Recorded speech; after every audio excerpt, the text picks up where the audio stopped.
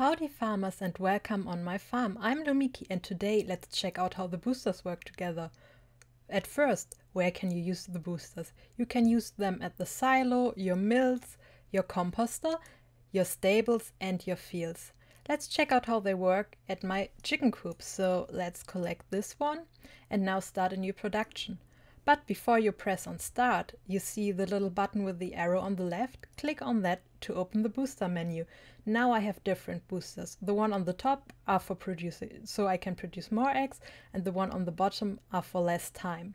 So I'm going to use the less time booster. I will take this one and now you see it's selected.